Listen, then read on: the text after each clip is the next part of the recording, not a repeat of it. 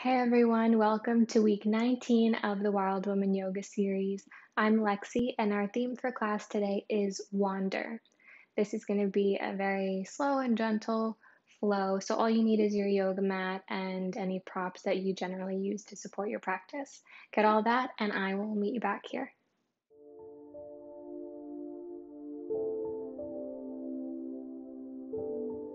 So, we're going to start today in a standing pose. So you can find yourself at like the, not the top top of your mat, like the middle, above the middle of your mat, um, grounding into all four corners of your feet, maybe lifting all 10 toes just to get the soles of your feet grounded down onto your mat. And then releasing the toes, finding your stability, um, feet about hips width distance, your legs kind of engaged, keeping you stable. And you can close eyes to find your center point inside. So, checking inside to find your stability. Maybe drawing the shoulders back just a bit palms facing forward at your side. And again, the eyes either closed or you can soften the gaze to the floor. And let's take a few breaths right here.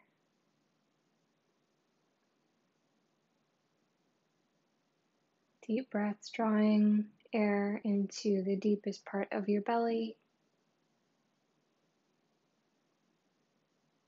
and filling all the way up to the collarbones and exhaling.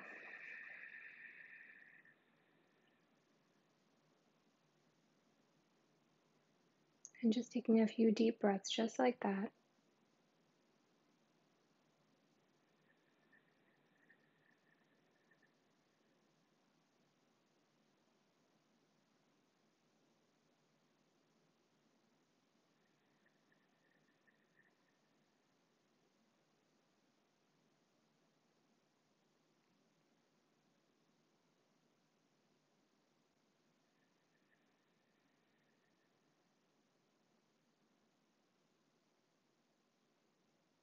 Just settling into your body for practice today.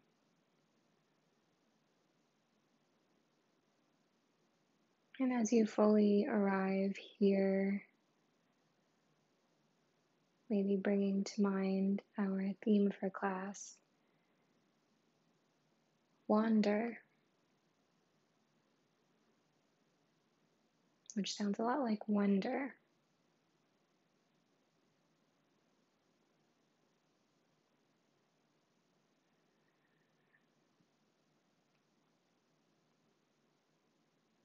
Perhaps you are type of person like many of us are that can get easily so swept up in the current of modern life, becoming very goal oriented and focused on endpoints, having that tunnel vision of getting one thing and then the next and the next and again and again.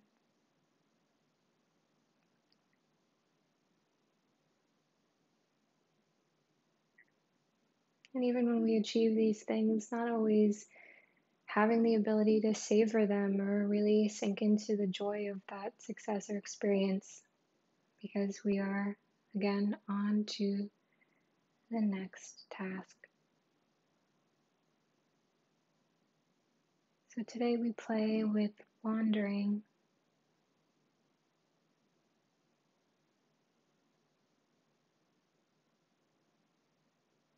Surrendering to the what feels like the aimless current that is real life. Because the truth is, none of us know what the next moment is, even if we plan. So, being in the energy of wandering through life and wondering at all the beauty along the way.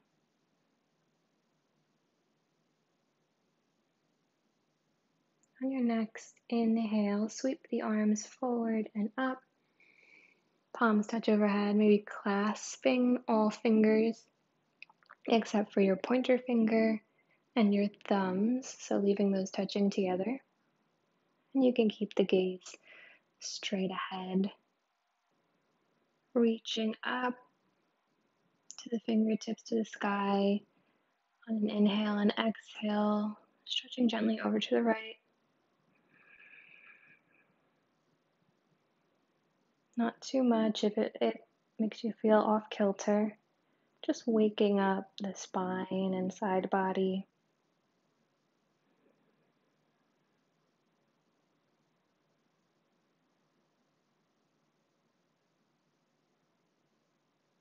Inhale back up to center. And exhale, stretching over to the left.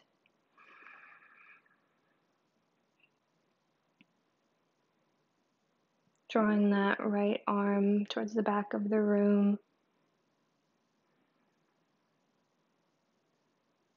To keep the upper body from slouching forward. And you can inhale back up to center, bending at the elbows to send the hands towards the back of your neck.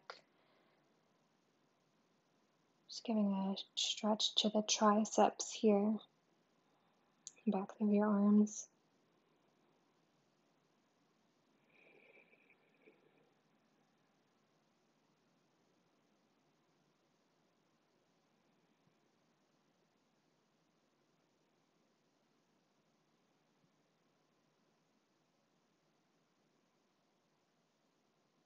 And on your next inhale, allowing the hands to come up and hinging at the hips to fold forward. You can drop the head. Keep a generous bend in the knees here. Maybe shake out the head. Yes and no to release in your neck.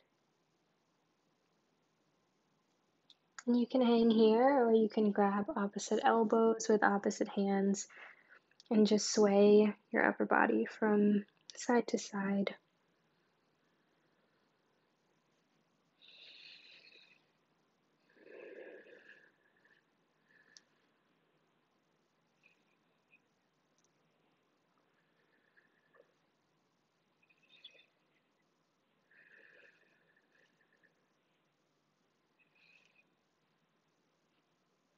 And then finding stillness, bringing the hands to the mat.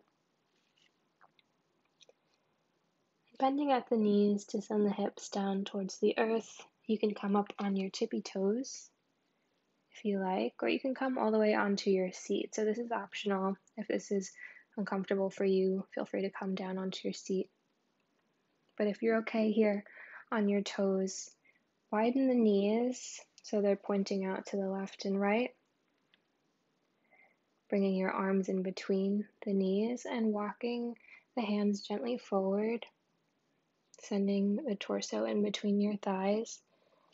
And you can drop the neck and head and come up onto your fingertips as if you had little cupcakes underneath your palms. Just stretch here all the way from the upper back down the arms to the fingertips.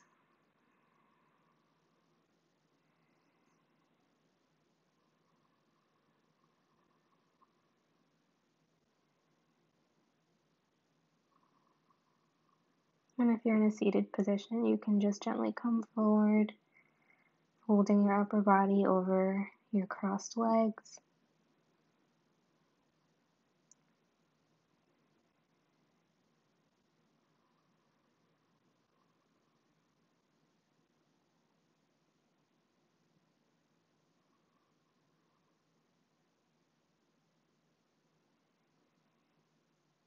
With each inhale filling up and with each exhale, just allowing yourself to sink forward. Maybe walking the hands out a little bit more.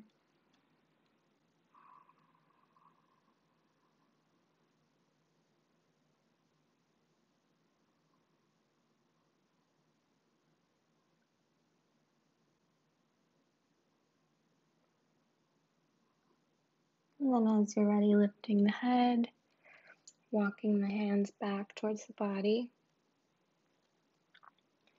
and coming down onto your seat. And finding a comfortable position for your legs so you can cross them and find some comfortable seated position. From here, we're just going to do a couple of circles with the upper body. So you can place your hands, palms down on your knees, and begin to circle the chest forward and back, holding onto the knees as you lean back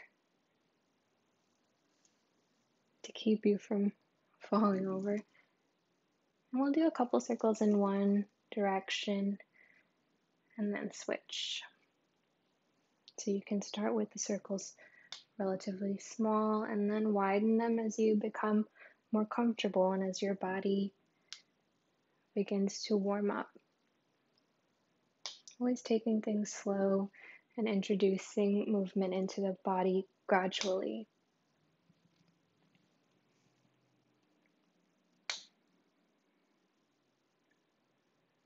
And plus, our theme is wander, so just take your time.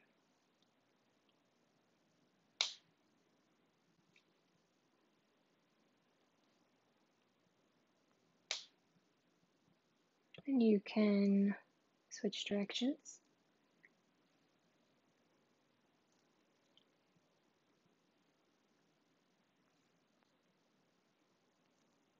Maybe close your eyes and just be in the movement.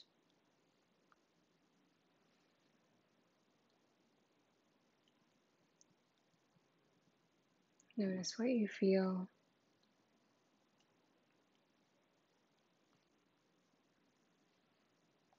Without judgment, just curiosity.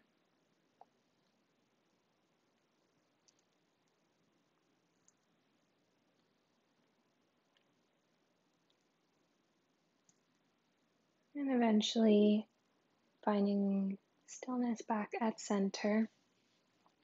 You can bring the knees together, pointed towards the sky, soles of the feet on the earth. And we'll come into boat pose. If it's in your practice, you can lift the legs and keep them straight. If not, you can keep the shins parallel to the ground and your arms pointed towards the toes, parallel to the ground as well. And we'll hold here, leaning back for a few breaths.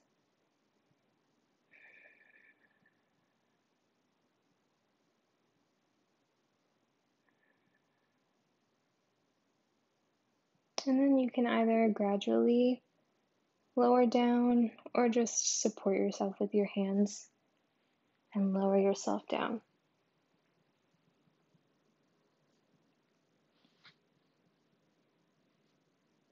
My abs are a little bit weaker, so I, I opt for the supportive variation of that. And once you find yourself down on your back,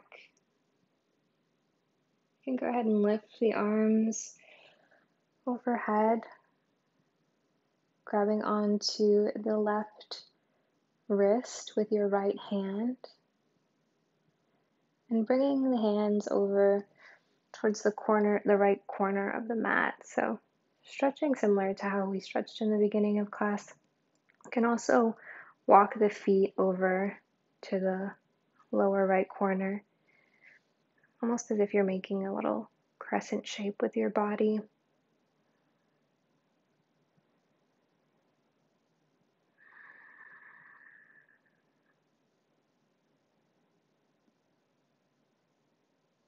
And just notice the line of energy from your fingertips down the side of your arms,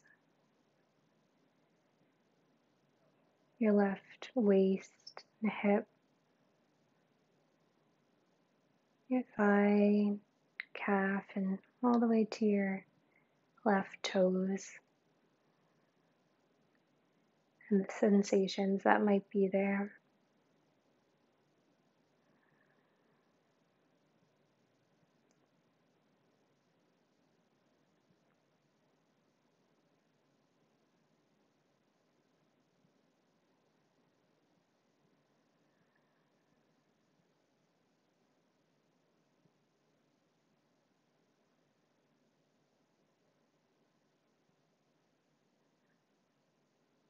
Lifting the hands and bringing them back to center and walking on your heels back to center as well.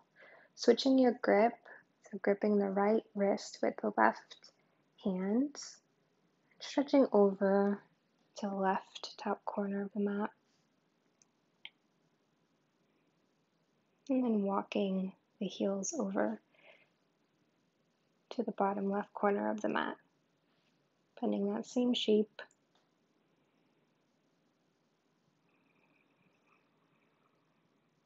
On the left side. And this time noticing that same line of energy from the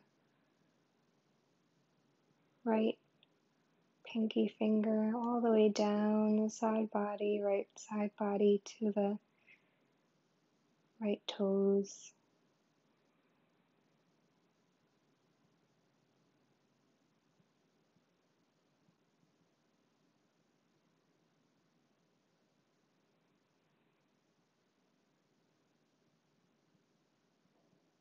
We pay attention, there's so much going on internally.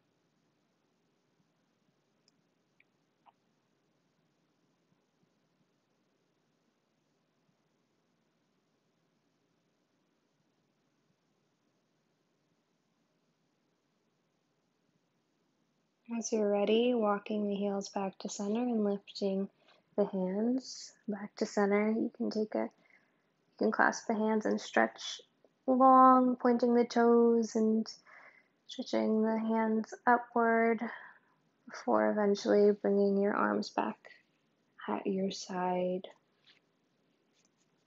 From here, coming onto the left side of the body and drawing the knees in for a fetal position. Just cradling the head for a second.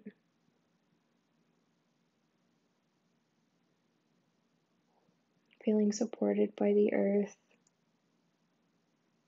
and supported by your own body as well. And eventually finding your way onto your belly. Take your time.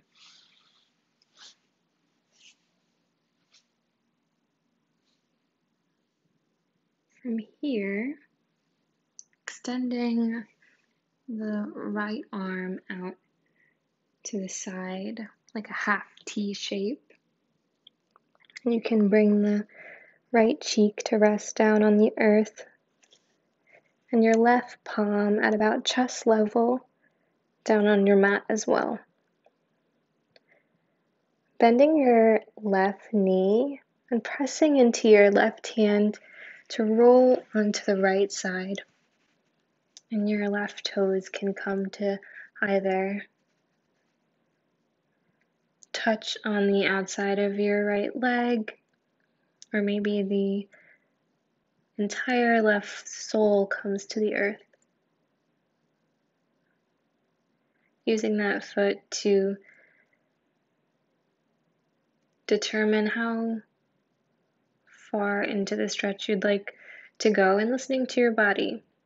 Maybe you come up onto the toes and then gradually onto the ball of the foot maybe onto the heel, but wherever you are is perfect. There's no goal.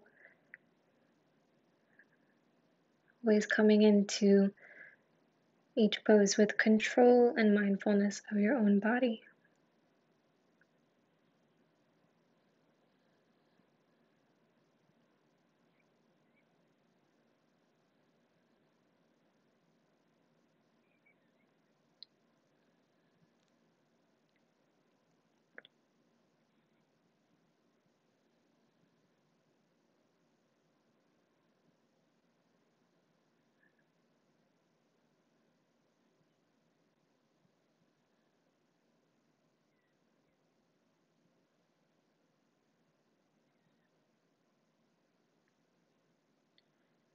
As you're ready, rolling back onto your belly, bringing the left leg down to meet the right, and switching the position of your hands.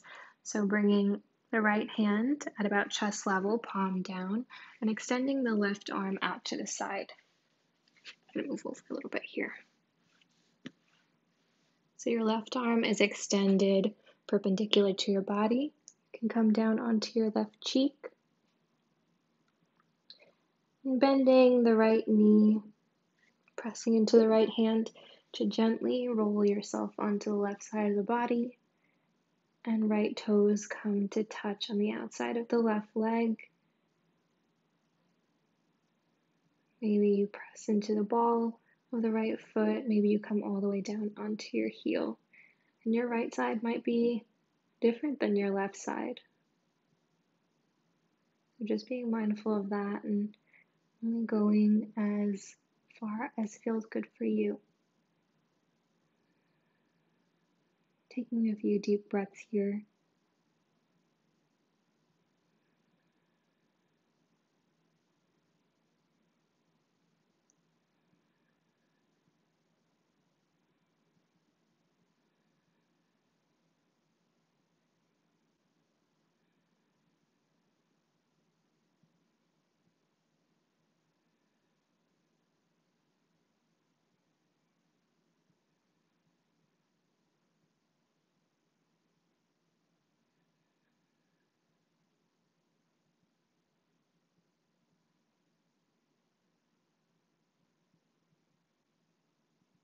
And then rolling back onto the belly.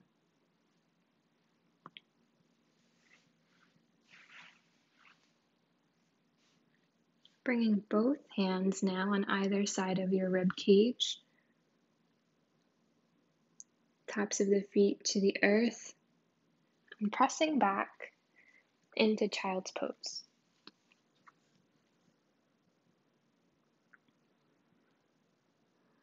Take a few breaths here, just allowing the torso to sink forward, hips pressing back.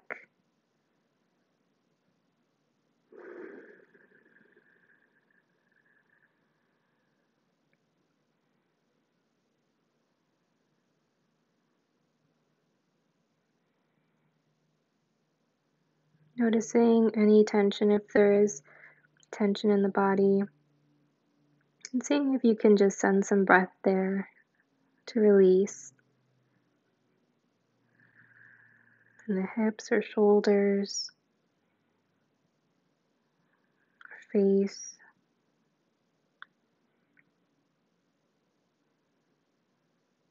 And then as you're ready, lifting up and tucking the toes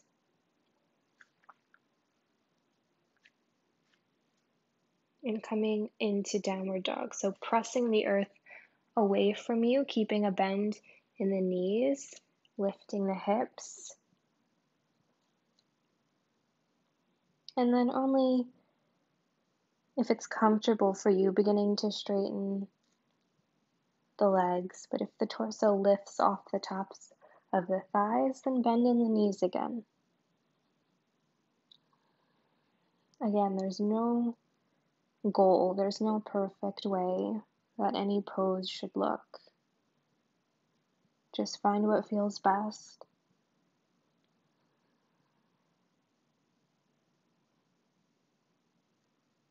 And from here, we're going to walk the feet towards the hands. So take your time, taking some small, leisurely steps up to the hands. Maybe you come onto the fingertips as your feet come closer to the hands. You can keep a slight bend in the knee if that feels more comfortable. As you gradually bring the feet to meet the hands.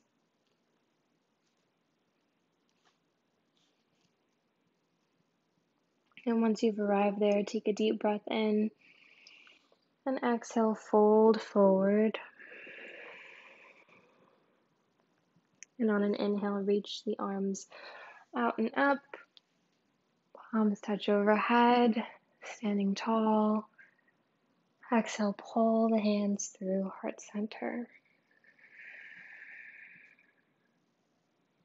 If you've kind of wandered into the middle of your mat like I have, you can come back to the top of your mat or the back of your mat, really. We're truly aimless today. And we're going to sit back in chair pose. So, sweeping the arms up overhead, or you can keep them in prayer position if that feels good. Arms up overhead and sinking low, sending the hips down and back. Keeping your weight in the heels here, you can lift the toes to ensure that your weight is in the heels. Pressing belly button to spine.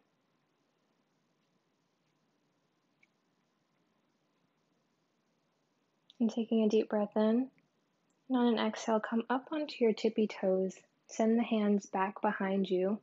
Straighten in the legs and push your chest forward. Palms facing towards the back, kind of like airplane arms here. Into diver's pose. Finding maybe a point on the floor to gaze at to maintain your balance.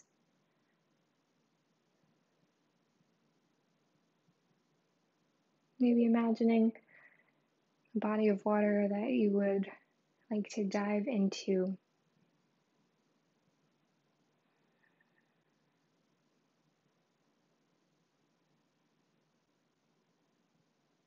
And then shifting the weight back into the heels, arms come up overhead, bending in the knees back into chair pose. And play with that for a little bit. Maybe come back and forth. So coming up onto the toes, palms face the back of the room, straightening in the legs, broadening in the chest. As if you're going to leap forward, dive forward, and then sitting back arms overhead. What does that feel like for you? just noticing this the very different sensations that might be happening in either of these poses. What's coming to mind, what comes to mind when when you engage in this kind of dynamic movement or imagery. Next time you find yourself in chair pose, stay there for about a breath. And then exhale, fold forward. And just release the neck. Stepping back with the left foot and bring your right hand on the inside of the right foot and walk your hands towards the long side of your mat, finding a wide legged forward fold. And then lifting halfway. Turn the heels in, toes turn slightly out and lift your torso up into goddess. So bending into the knees as your feet are turned slightly out, drawing the shoulder blades together. And maybe the arms come into a cactus goalpost position.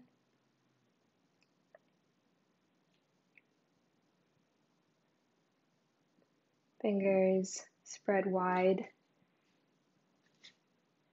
And if you'd like, you can try and play with coming up onto your onto your toes and sinking low, bending into the knees.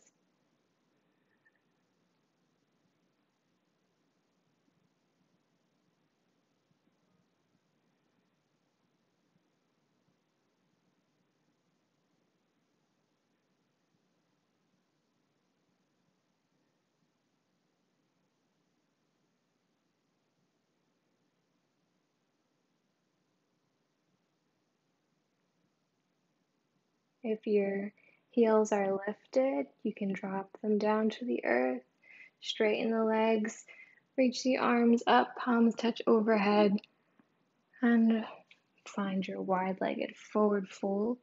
Once again, the feet can become parallel to each other, so turning your toes towards the long side of the mat. And gradually walking the hands towards the top of your mat and toes come to follow.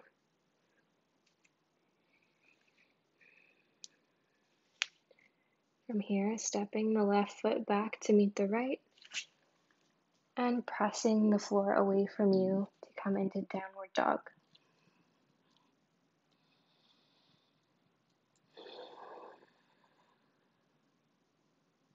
You can lower the knees to the earth, untuck the toes, send the hips back, and walk your hands forward to rest in child's pose.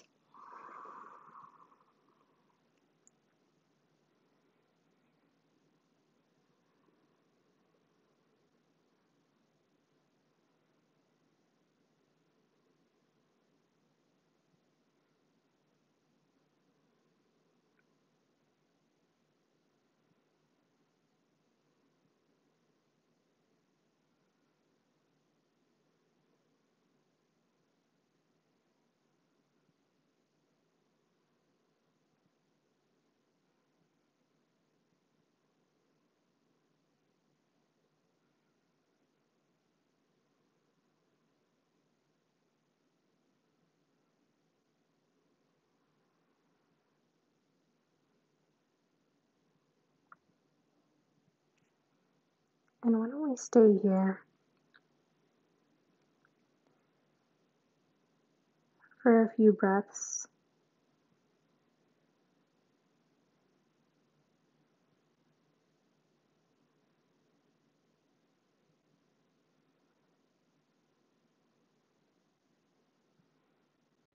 If the mind begins to wander,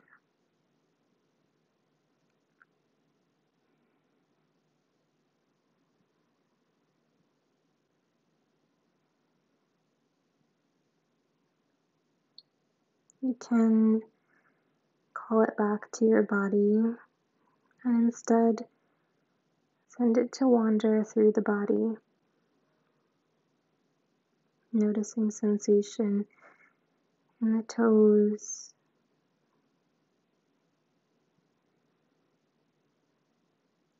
The fingertips and everywhere in between.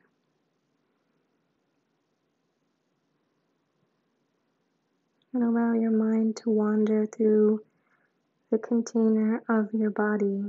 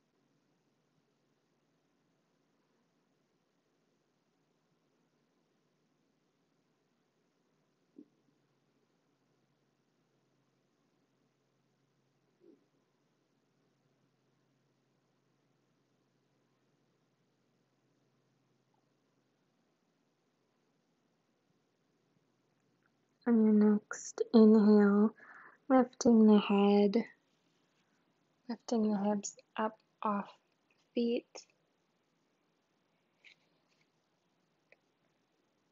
And lowering yourself down onto your belly. You may need to shift yourself back a bit.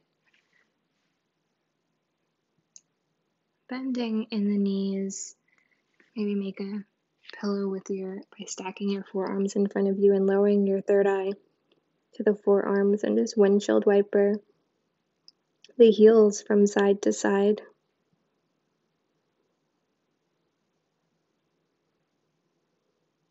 eventually allowing them to find stillness at center, but keep the bend in your knees here.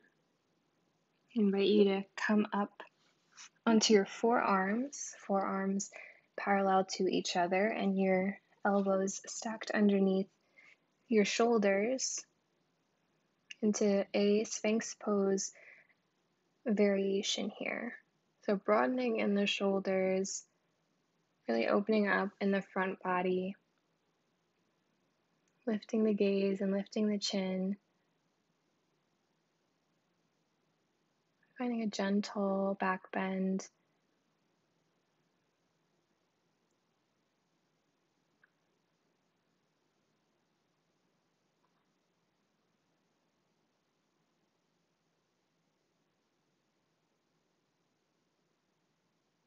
And we're preparing for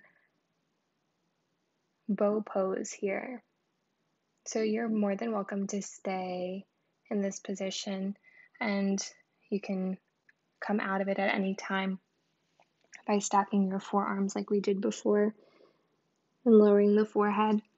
Or you can stay here working on just broadening in the chest and finding a back bend position that feels good for you. You can always move the forearms farther away from you, so moving the hands further in front of you to lessen the back bend. Maybe you walk them out all the way in front of you, completely extended, and just lift the head and then lower the head. So we're being very gentle with the back here. If you'd like to play around with some of the positions that I've mentioned thus far, go right ahead, wander through it. And if you'd like to come into bow pose, you can do that as well. So lowering the forehead to the ground and grabbing onto the tops of the feet with your hands.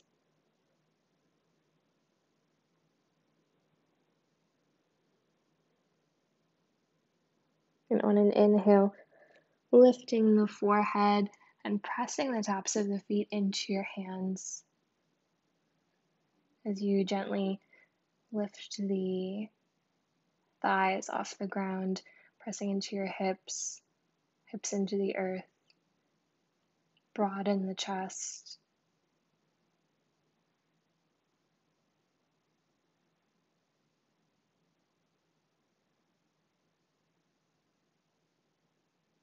And a few breaths here, coming out at any time if you need to.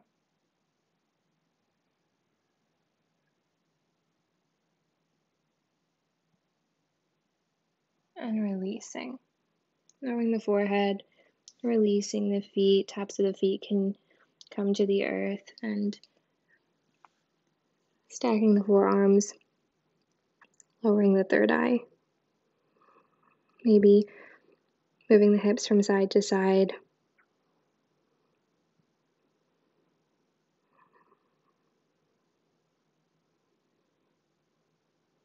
Just relaxing and releasing.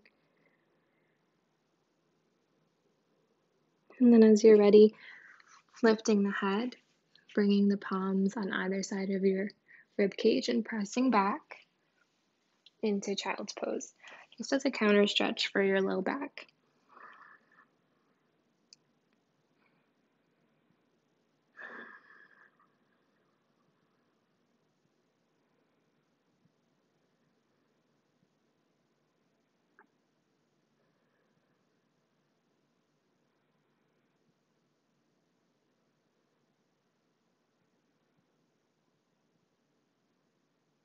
Lifting the head and walking the hands back towards the body, sitting up on your heels, knees together.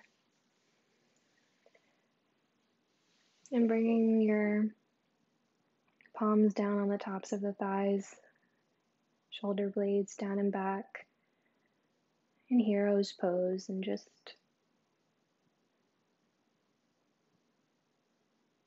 Sitting back here, maybe close the eyes.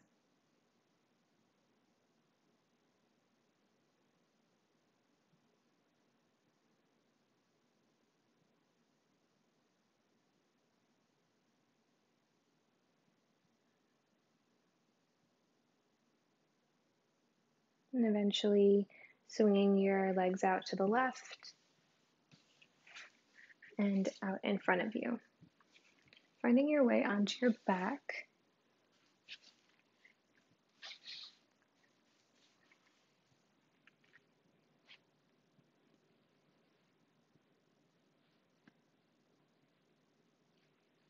First, we'll draw the knees in tight to the chest.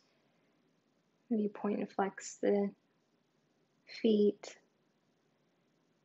before extending your legs high as if they were up against a wall. And point and flex your toes here.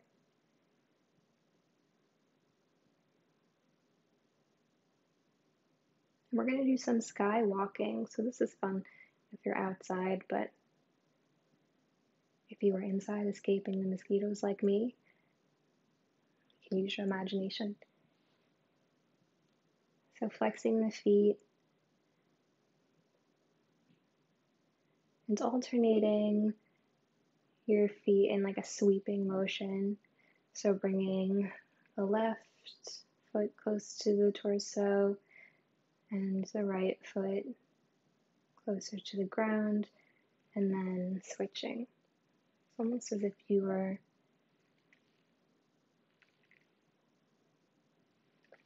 walking on the sky or like gliding on the sky cross country skiing on the sky.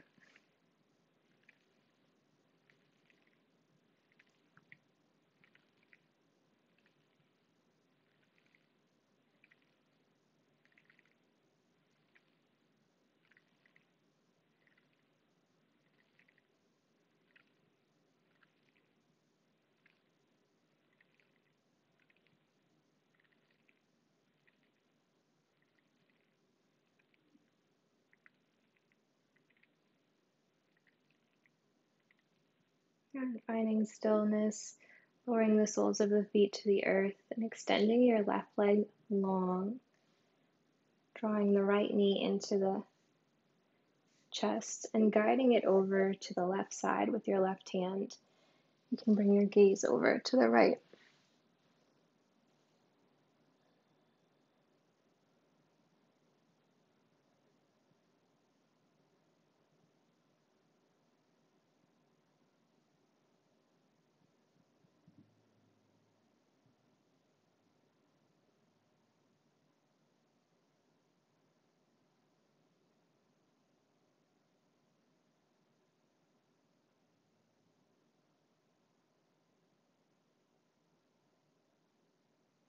Coming back to center. Extending the right leg long, drawing the left knee into the chest, hugging it tight, and then using the right hand to gently guide your left knee across the body over to the right side. You can bring your gaze to the left if that feels good for your neck. If not, you could just keep the gaze straight towards the sky. And allow the gentle twist of your spine.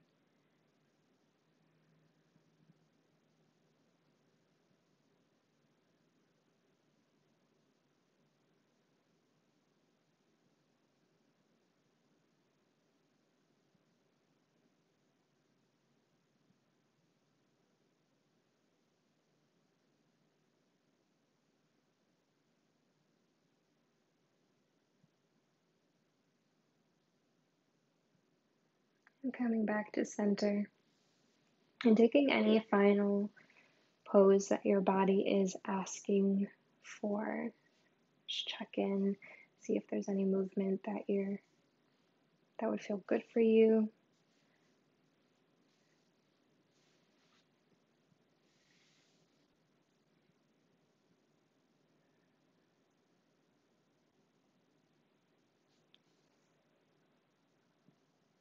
stretching long or drawing in tight. Whatever you need.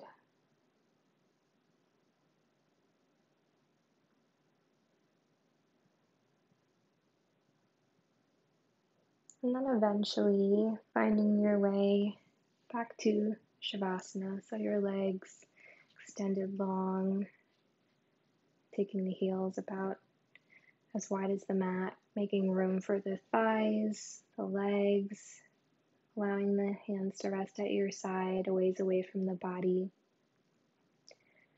Releasing in the belly, releasing in the face, the jaw, soften, softening the face, allowing the shoulders to melt down.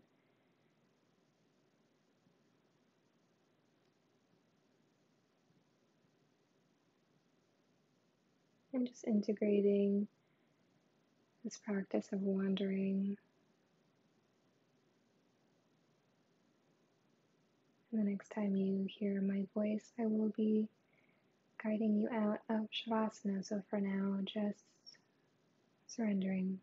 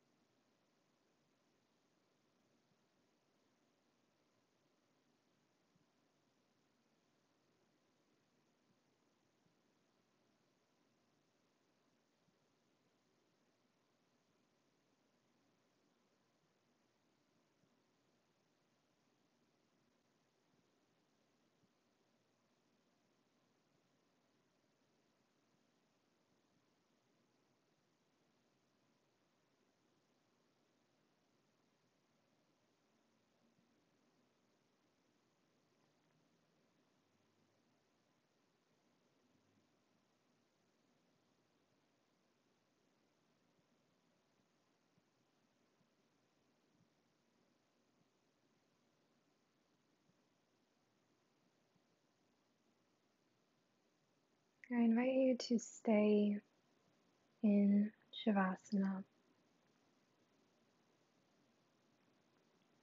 You can bring small movement to your fingers and toes just to bring awareness back to the body if it's wandered. But stay with your eyes closed, stay with your body lying on the ground.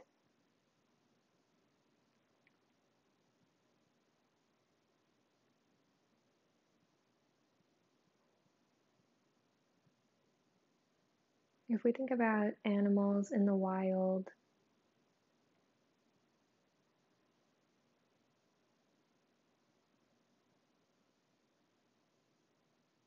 it's not often that they are running unnecessarily.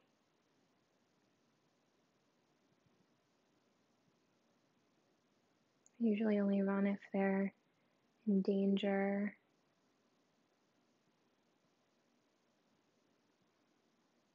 or hunting.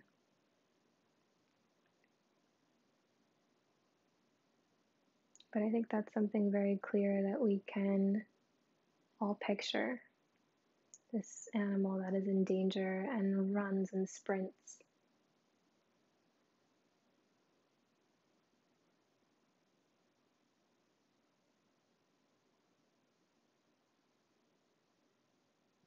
But for us, we often run even if we're not in danger. Some of us run all the time from one thing to the next.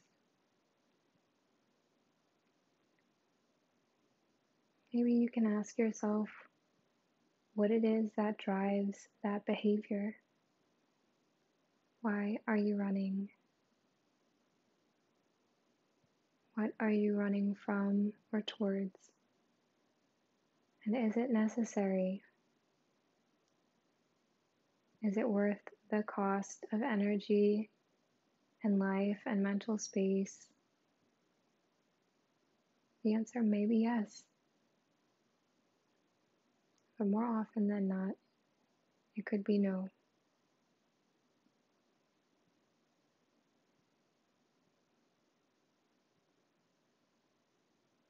And perhaps there is room for more wandering.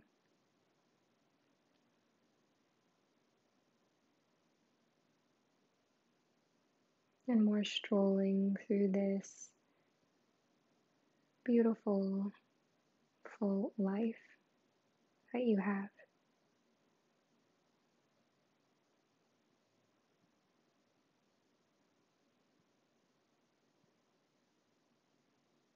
I thank you for sharing practice with me. Be well.